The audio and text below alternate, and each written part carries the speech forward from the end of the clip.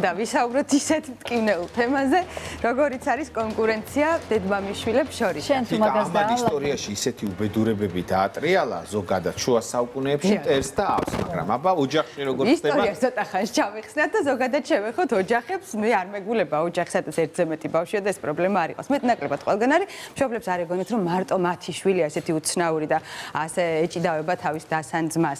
ზოგადად ეს არის ძალიან ბუნებრივი, იმიტომ რომ ეს არის ბრძოლა პირველობისთვის და ეს არის ბრძოლა სიყვარულის მოპოვებისთვის ყველაზე ძვირფასი ადამიანების, დედიკოს და მამიკოს სიყვარულის მოპოვებისთვის. ამისთვის მიმდინარეობს ეს ბრძოლა და ქიშპობა. რაღაც მომენტში არის ძალიან ბევრი დადებითი თვისება აქვს ამ ყველაფერს, იმიტომ რომ ბავშვი ამ დროს სწავლობს კონკურენციას, კამათს, საკუთარი აზრის დაფიქსირებას, საკუთარი ადგილის დაფიქსირებას, რაღაცის გატანას, მარცხსაც, გამარჯვებასაც. მაგრამ თათასე იავარდით ხომ არ არის მოფენილი, იმიტომ რომ ძალიან ხშირად დედმამიშვილების მხრიდან მიღებული ტკივილი ძალიან ახსოვთ ხოლმე ადამიანებს უკვე ზრდასრულობაშიც და აი აქ არის აუცილებელი სწორი ქმედება მშობლისგან. მშობლებმა უნდა იცოდნენ, რომ მათ შეუძლიათ რომ განეიტრალონ ეს კრიტიკული სიტუაცია.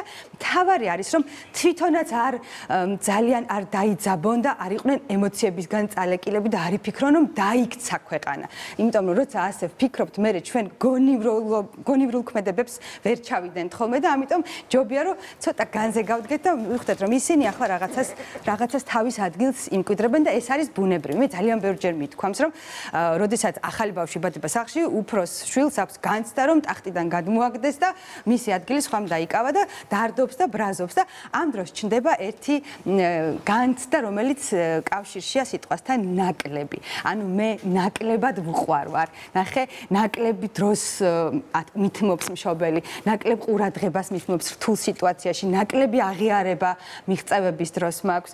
ნაკლებად მნიშვნელოვანი ვარ. თუ ასეთ რაღაცებს ვფიქრობ, მე ბუნებრივია დავიჩაგრები და ძალიან ცუდად ვიგრძნობ თავს და ერთი თუ ფიქრობს მესმის, მაგრამ ორივე რო ამ მიზეზით ტირის? კი, ორივე ამ მიზეზით ტირის. მე ამ შემთხვევაში ბავშვებს არ ვამართლებ, უბრალოდ მინდა მშობლებმა შეხედონ ბავშვების თვალით. ნიკოლოზ გისმენ. თიკ არის შემთხვევები, როცა ბავშვებს ეჩვენებათ, მაგრამ არის შემთხვევა, როდესაც მართლა სხვა მშობელს ერთი განსა უფრო უყვარს ვიდრე მეორე. აი ამ შემთხვევაში რა უნდა ქნას მშობელმა? მე ვიცნობ ქალბატონს, რომელიც აი სრულიად სხვადასხვა დამოკიდებულება აქვს შვილებისად.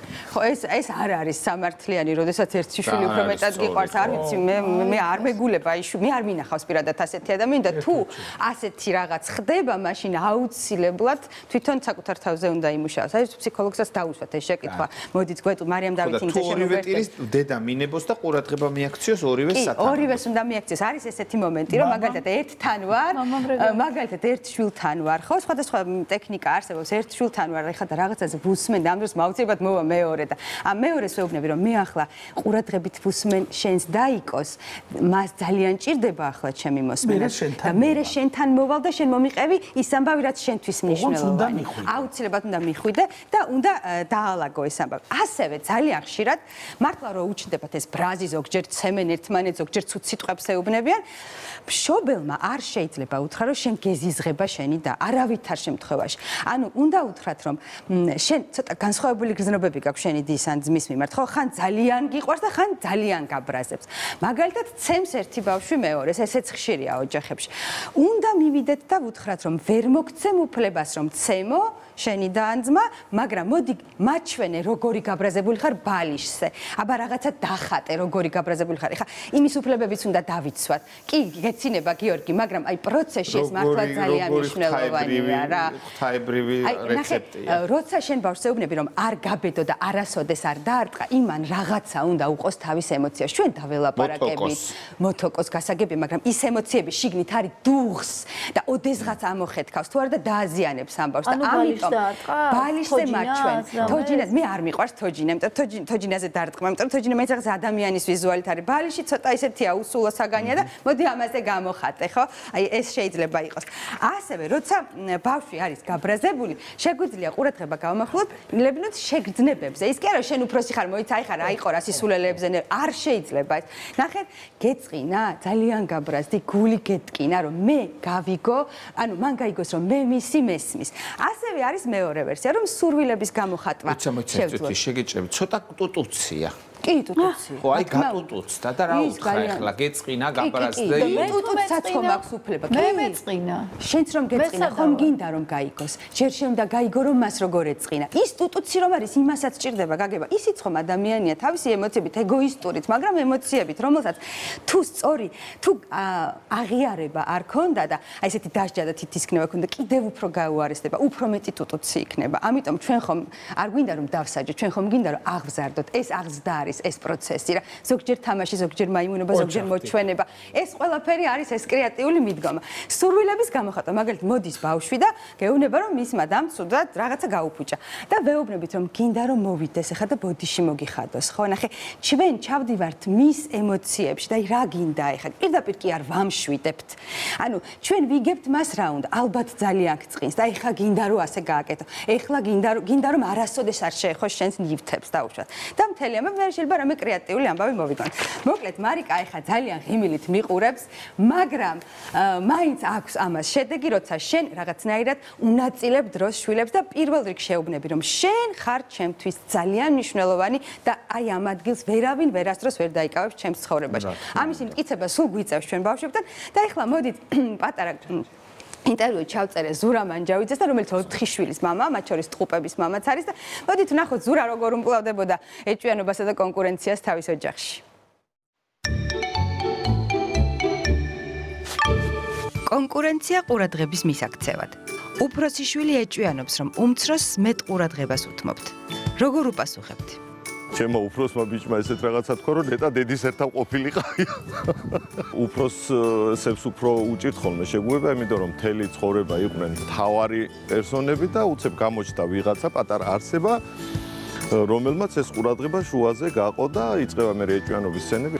მაქსიმალურად ეცადო რომ მეტი დრო დაუთმო, განსაკუთრებით ამ დროს და მოусმინო. ჯიბრზე ისე იქცეოდეს, რომ აი იმ დროს მოუნდეს რაღაცების მოყოლა შენთვის, თავისი პირადულის, რომ შენ ამ დროს რაღაცა ამ პატარასთან გაქვს საქმე და არაფრით არ მიიღებს იმ პასუხს, რომ აი ორი წუთი მაცადე, ეხლავე მოგისმენ, აი ამ პასუხსაც კი არ იღებენ. უპებს შორის 15 წუთია სულ სხვაობა, მაგრამ მათ შორისაც ეს კონკურენცია სასტიკად ძლავრობდა, თან ერთმანეთის გარეშე ვერძლებენ და თან სულ ძიძგილაობა აქვს ერთმანეთს. პირველ რიგში მე მგონი მაინც ეჭვიანობა ადამიანის ბუნება არის, ჩვეულებრივი მოვლენა არის. ყველა ვარიანტში მისახედია, ეს არ უნდა წაუყროთ ამას, იმიტომ რომ შეიძლება მე ცუდი შედეგები გამოიწვიოს თუ გართულა. ყველანაირად უნდა ეცადოთ, რომ მაქსიმალურად აი ეს ყურადღება გადაანაწილოთ ისე რომ არც მწვადი დაწვათ არ ჩამფული. ურთულესია, მაგრამ მოусმინეთ ფსიქოლოგებს. გონია რომ ეს ყველაფერი არ უნდა ხდებოდეს. და ვერ ვეგუებით, რომ როგორ ძმები ხართ, ერთი სისხლი და ხორცი ხართ, როგორ შეიძლება თქვენ მე პირადად მე ზუსტად ესეთი დაალაგებული ტექსტები გვაქვს, იცის იმანისე და დედმამიშვილი როა, მაგრამ ვერ ერევა იმ თავის გზნობებს. ამიტომ ამაზე არ არის პედალირება საჭირო. პირიქით, რაც შეიძლება გალაითება არის საჭირო ყურადღების გადატანა, მეტი რბილი ხასიათის გამოვლენა. უპირველეს ყოვლისა, საკუთარ თავთან ბრძოლა არის ისევ და ისევ შობლის, იმიტომ რომ აი ყველაფერს მაქსიმალურად ცივი გონებით უნდა შეხედო, რაც სრულიად წარმოუდგენელია ჩემ შემთხვევაში, მაგრამ ის რომ არ გამოიწვიოს უფრო უარესი, არ გართულდეს, ამან უნდა გაიძულოს, რომ აი სწორი ნაბიჯები გადადა. თუ შენ ვერ პოულობ გამოსავალს, რაც ჩემ შემთხვევაში ძალიან ხშირად მომხდარა, ანუ ფაქტიურად ჩიხურ მდგომარეობაში აღმოჩენილოა, რომ როგორ აი რანაირად შეიძლება ელემენტარულზე აი არაფრის გამოიჩხუბოთ. და რაღაც ეჭკვიან ხალხს უსმენ ხოლმე ამ დროს და მეხმარება სხვათა შორის და არ არის ეს სირცხვილი რომ მოусმინო უფრო გამოცდილ ადამიანს, ვინც პროფესიონალია ამ საკითხში. აი უფრო შვილს უნდოდა რომ დედის ერთა ყოფილიყო 4 შვილის მამა ზურა მანჯავიძე ამბობს, თუმცა ეს პრობლემა მაინც მოგვარდა მათ ოჯახში. მეგობრებო, თქვენთან როგორ იყო? აი დაძმიანი ხალხი. დაძმიანი. არა, არა, იყო ეხა რა თქმა უნდა კონკურენცია იყო და მე უნდა ვაღიარო ჩემდას ეხა ეგ ძალიან გაუხარდება. ვიცი, მე ძალიან ცუდად ვიქცეოდი ჩემდასთან მემართებაში. ძალიან ცუდად. ეხა ნანო ძალიან და სუცილობ გამოვისყიდო. ეხა შენ იდეალური ძმა იყავი? არა, არ ვიყავი იდეალური ძმა, მე მქონდა საფუძველი, იმიტომ რომ სულ მქონდა განცდა რომ მამა ჩემს ჩემი და უფრო უყვარდა და ერთხელ რომ კითხე რომ ეს და ერთხელ ჩემი და დაიწვა ძალიან და ძლივს გადაარჩინეს. აი მაშინ რომ დაიწვაო შემეცო მომწონდა და ამიტომ მაგრამ უფრო კი არ მიყვარსო. სხვა დამოკიდებულება. სხვა დამოკიდებულება. ალბათ მარიკაც დაგვეთახმება მაშინ დამოკიდებულება განსხვავებული. რა ტიპები არიან? იმის მიხედვით კი ყალიბდება დამოკიდებულება. აქ მეტნაკლებობაზე არ არის.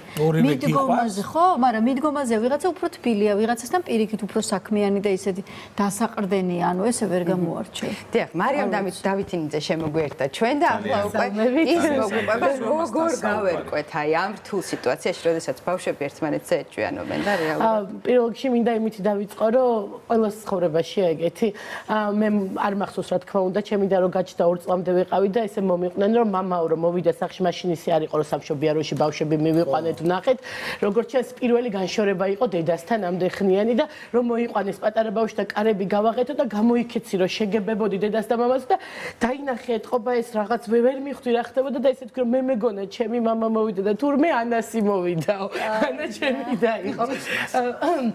ანუ ყველა ცხოვრებაში არის ესეთი, თუმცა დღეს მე რომ მკითხოთ, იმაზე ძურფასი ადამიანი ვიდრე ჩემი და არის, მე არ ამყავს და არც მეყოლება. და ამიტომ ის გააზრება, რომელი ასაკიდან იწყება? იცით რა, მე ღრმად კარგად მახსოვს ერთი ესეთი შემთხვევა, ანა მაპატიამას რომ მომყვები. და ვიყავი 6-7 წლისები ვიყავით ქობულეთში ვიყავით, მახსოვს და ჩემი და რაღაცაზე გაბრაზა და აიღო სავარცხელი და მრეძგვა კარგად გემრიელა თავში. ხო და ცოტა სისხლიც კი წამომივიდა, ისე იყო და აი იმ მომენტში აი ეს შენი ხათე ცოტა არა ნუ უარეს მაგალითები აი იცით რა მომენტი აი მაშინ მახსოვს ის რომ ძალიან მინდოდა რომ რაღაცა მე თქვა აი პირველ შე მაგრამ არ ვთქვი არა იმიტომ რომ დედა გამიბრაზდებოდა. არ ვთქვი იმიტომ რომ მაშინ პირველად ვცადე გამეგო და რატომ დამარტყა ჩემმა დამ ხო გეტყვით რატომ იმიტომ რომ ჩემი მშობლები აქტიურად მუშაობდნენ იმაზე რომ აი ანას мама მოვიდა აღარ ყოფილიყო ჩემ ცნობიერებაში სხვადასხვანაირად ხდებოდა ეხლა მე რომ ვაკვირდები იმას თქვა დიდობაში ამას როგორ აკეთებდნენ და მე როგორ ვაკეთებ ამას ჩემ შვილებთან მიმართებაში რამდენიმე ძირეული პრინციპი არის იმისი რა უნდა დაიცვას დედამ და მამამ ამ დროს ხო რომ არ უნდა შეადარონ ბავშვები ერთმანეთს კარგად ვიცით ეს ამბავი ხო თუმცა ნახეთ თქვენ იტყვით რომ არ შეადარებთ მაგრამ შიგნით აი სადღაც ღრმად გულში. რომელიღაცა ბავშვი უფრო კარგი იქნება ენებში რომელიც თქვენთვის უფრო მისაღებია? და მეორე თქვათ ისეთი კარგი ვერ იქნება ენებში. და სხვა რაღაცა კარგი ექნება მაგრამ რატომღაც იმის მიმართ უფრო მეტი სიამაყის კეთილგანწყობის მაგალითად ჩავიჭრება ესე იდეალურად მგონია რომ არ არის სიტუაცია ოპონირებას კარგი აი ნახეთ როგორ არის. ესე ვარდის ფერფერებში კი დავინახეთ მაგრამ ისტორიაში ძალიან ძიმე მაგალითები გქონდა ისინიც ადამიანები იყვნენ. ხა დავით აღმაშენებელი იყო იდეალური მეფე, მაგრამ უმცროსი შვილი უყვარდა განსაკუთრებით და ეს განსაკუთრებით სიყვარული გამოიხატა იმაში რომ რო არ ეკუთვნოდა სამეფო ტახტიც მასაც დაუტოვა. და ამან დიდი პრობლემები წამოსვა საქართველოს სამეფო კარზე. ანუ ეს არის ხოლმე რომ აი მშობელი რაღაც განსაკუთრებულად გამოარჩევს შვილს. სუბიექტურია. ეს ეხლაც არის. აი რა უნდა აქ ნუ ეგრე ახლა ქონების კუთხით სამწუხარო სტანდარტია რომ ბიჭს რჩება თითქოს ყველაფერი და გოგო ყოველთვის ესეც ალბათ ოჯახის კულტურაზეა. დამოკიდებული მოგებული. ხა ჩვენ ოჯახში ესეთი კულტურა არ არის მაგალითად, რომ ურა ბიჭი გაჩნდა და მე საერთოდ ზმა არ ამყავს მაგალითად და მამაჩემი ძალიან ბედნიერად შეეგუა და მშვიდად იმას, რომ ქონების დამტოვებელი შვილი არ აყავდა და პირიქით ცდილობდა ჩვენ შეენახა ის გაგრძელება. მარიამ, როდესაც გაჩნდა თქვენს ოჯახში მეორე შვილი მაგალითად, აი რა მოხდა მაშინ? როგორ შეაგვეთ უფროს შვილს ახალი ოჯახის წევრის დაბადება? მადლობა ღმერთო დავით აღმაშენებელი არა ვარ და ალბათ ყველანი დავით აღმაშენებლად არიბადებიან, იმიტომ რომ მას თავისი წილი სირთულეები ჰქონდა და ჩვენ რა თქმა უნდა, მაგრამ ნუ ეს ჩვენ ალბათ ვერ გავიგებთ იმას, ასეთი ბუმბერაზი ადამიანების გონებაში და ცხოვრებაში რა გამოწვევებია და რა ხდება. ჩვენ შემთხვევაში რომ ანა იყო ძალიან გაწონასწორებული და ისეთი ჭკვიანი ბავშვი დაბადებიდან. თუმცა ჩვენ რაც ზირეულად არ გავაკეთეთ იყო შემდეგი. გაბრიელის ჩვენ ცხოვრებაში შემოსვლასთან ერთად ანას არ შევუცვალეთ მისი ცხოვრების განრიგი. ანუ არ მომხდა და ხშირად ასე ხდება. პატარა რო იბადება ისედაც სტრესში არიან ეს ბავშვები და კიდე პლუს ეცვლებათ ყველანაირი ცხოვრება. ახლა ჩვენ ცხოვრებაში მესამე ბავშვი შემოვიდა ანა 12-ის არის გაბრიელი 10-ის არის და დღესაც ჩემი შვილები არ არიან ჩემი შვილები პატარა მესამე ძმის ძიძები არ არიან ჩემი დამხმარეები. ჩემი შვილები არიან ბავშვები რომლებსაც იმდენივე ყურადღება ჭირდება პირველ ორს რამდენი ჭირდება მესამეს. და ეს მათ აქვთ.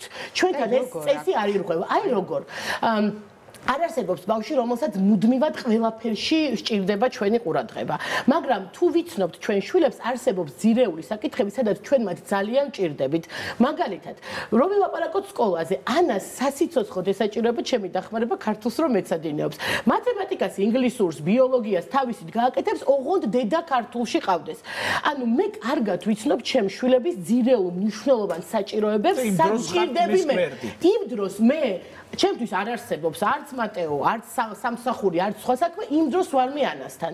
ამგვარად მე ვახერხებ რომ ნაკლებად ვიყო მასთან, თუმცა ყველაზე მნიშვნელოვან დროს, როცა მას მე ვჭირდები, შევუსო ის განცდა, რომ დედა ყველაფრის და მიუხედავად ჩემს გვერდით არის. როცა გაბრიელი მუსიკას მეცადინეობს მაშინ.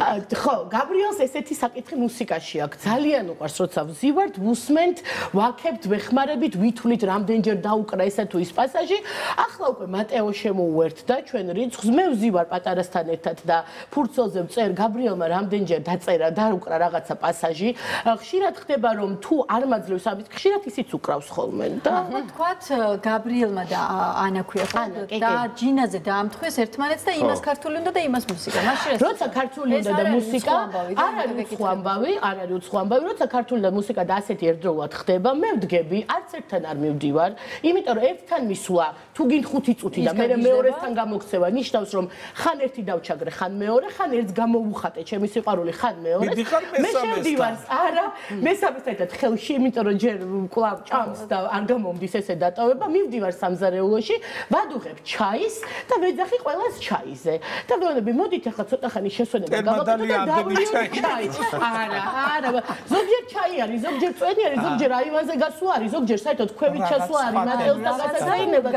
აუცილებლად არ უნდა მივანიჭოთ არც ერთს იმდენი ყურადღება, რომ მიზეზი ამ იმითი რომ ხან ერთთან მივარდი, ხან მეორესთან, ხან ერთს დავურწყებ წმუნება რომ მე შენ მიყვარხარ, ხან მეორეს სინამდვილეში წავახალისე ის რომ იმან იმას ნიშის მოგებით უთხრათ და ერთთან ორჯერ მოვიდა შენთან ერთხელ. ამიტომ ამ დროს პირიქით ჩვენ კი არ უნდა გავაცალკეოთ ისინი და ცალცალკე ყურადღება კი არ უნდა დავუთმოთ, უნდა გავაერთიანოთ და ერთიანი რაღაცა გავაკეთოთ იმისთვის რომ მათ იგრძნონ. ამ რეცეპტის გარდა. კიდევ მაქვს ერთი საინტერესო რეცეპტი. მაგალითად, ესე იყო რა, გოგოები უფრო ადრე აქტიურები არიან და უფრო კაი მაგრები არიან, ბიჭები ცოტა გვიან ეწევიან ხოლმე გოგოებს განვითარებაში, ჩვენ და გოგოთან უფროსი იყო და ანას თავიდან ყოველთვის ყველაფერი უკეთესად გამოსდიოდა უფრო წარმოჩენილი იყო ვიდრე გაბრიელი. ამიტომ ჩვენ შემოვიღეთ ესეთი წესი რომ კვირაში ერთი სრული დღე გქონდა ანასი, ერთი სრული დღე გქონდა გაბრიელის. ოღონდ როგორ? განა ის რომ აუცილებლად სადმე მივდიოდით და რამეს ვაკეთებდით? არა, უბრალოდ იმ კონკრეტულ დღეს ყველა იყო ანას დედა, ანას мама, ყველა იყო ანას ბებია, ანას პაპა, ანას ძმა. ერთმანეთს მიმართავდით რა ბედნიერება არის რომ ანას დედა ვარ. უი, დღეს შენ ანას დედა ხარ, ხო? იგივე დღე ქონდა გაბრიელს.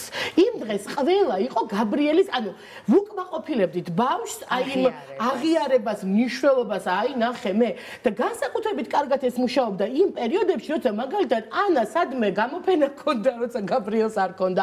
ანა სადმე პარკურზე გადიოდა, როცა გაბრიელი არ გადიოდა. ვამთხოვდით ამ დღეს იმისთვის, რომ ბავშვს უმტკივნეულოდ მიეღო, გაბრიელს უმტკივნეulod მიეღო ანას იმდღანდელი წარმატება და ის კი არა რომ შური გასჩენოდა რომ უიმე იმას მედალი აქვს და მე არა.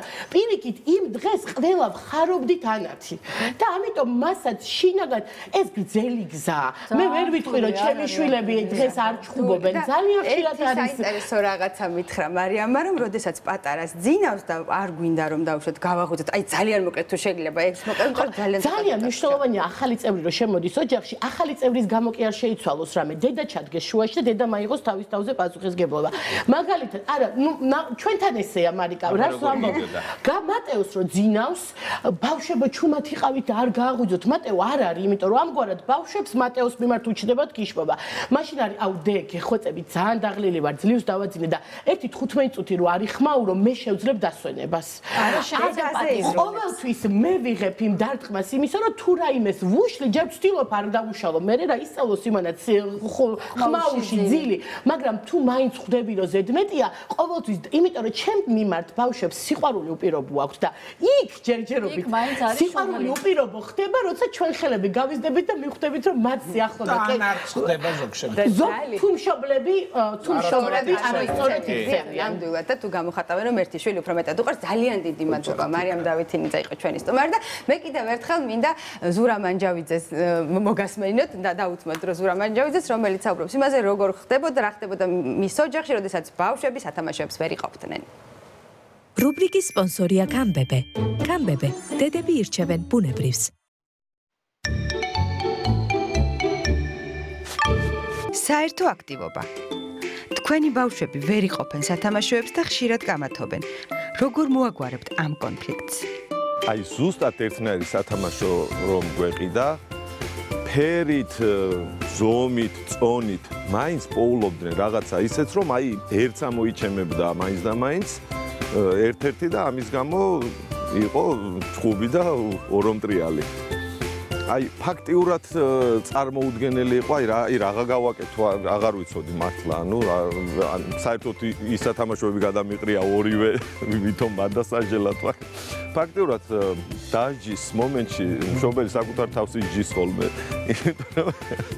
მე რეგული უკტება არის ერთი ამბავი მაგრამ თამაშების მოგონება უნდა შეგეძლოს. ანუ საკუთარ ფანტაზიას უნდა მიცეთ განსაკუთრებული გასაქანი და აი ამ კონკურენციასაც რაღაცა ისეთი ამოს გამოსავალი უნდა მოუნახოთ სადაც აი ეს ენერგიას დახარჯავენ და არა რაღაცა ერთმანეთის ჭუბს მოანდომებენ ყველაფერს. ანუ ამისთვის განსაზღვრული რეცეპტი არ არსებობს ყველა არის ინდივიდუალური ყველანაირად უნდა ეცადოთ რომ აი განსაკუთრებულ მიდგომებს მიეჩვიოთ ყველა ადამიანთან იმას უთავსებ უფრო ხოთა შორის როგორც კი ესე მოქცევა დავიწყე, მან თვითონ დაიწყო გამოსწორება. ანუ რაც უფრო მეტი იქნება პრესი, უკუგება იქნება უარყოფითი ყოველთვის. ამიტომ რაღაცა ჯობი ამ დროს თითქოს თავისნებაზე მიუშვა, მაგრამ აი ცოტ-ცოტა ნელ-ნელა აი რაღაცე გადატანითი მნიშვნელობით რაღაცეების თქმით უფრო მეტად გამოსწორდება სიტუაცია, ვიდრე აბა რაღაც დაგაგვიანდა, დავიღუპეთ, დაინგრა ყველაფერი შენი ამ ესეთ საქციელის გამო, არავითარ შემთხვევაში ის უფრო ჩაიკეტება და უფრო უარესად მოიქცევა. რუბრიკის სპონსორია კამბებე. კამბებე, დედები ირჩევენ ბუნებრივს. ძალიან საინტერესო რაღაც გითხრა ზურა მანჯავიძემ რომ ცდილობ მოვერგო ბავშვს მის ტემპორიტმს და ამის მიხედვით მოვთხოვო მას თავარი რაღაცები და შემდეგ ბეროთ დაალაგდება ურთიერთ